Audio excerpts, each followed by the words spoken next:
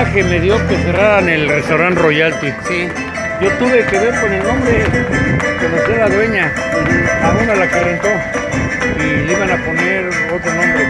Y oiga, yo le sugiero, no valdría la pena que le pusieran Royalty, es histórico ese nombre para... Y se lo pusieron, ¿no? Ajá, y se lo pusieron, pero no, no, no. Sí, mi tío trabajaba ahí, no sé si lo conociste, Lencho Arregoitia, el que vendía cigarros, Ah, no, los no. dulces.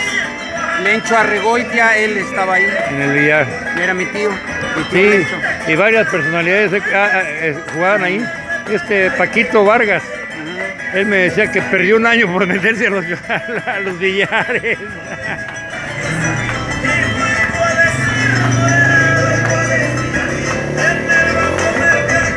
Y el mexicano ya es tradicional, chingado.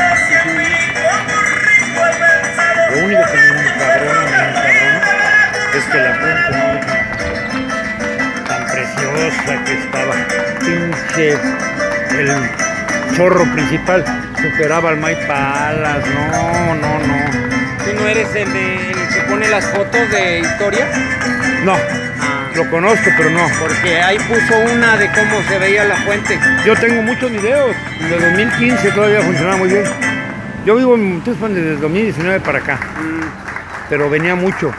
Me hospedaba normalmente en el Huasteco o en el Tuxpan, que ya cerraron. ¿De dónde vienes tú? Yo nací en el Distrito Federal, pero he vivido en todos lados. Yo soy chilango, bendito sea ¿De qué parte? Azcapotzalco. De Azcapotzalco. Ay, Yo, yo soy. me crié ahí por San Martín, donde está la Andrea. Ah, ok. Yo soy de Peralvillo. Ah,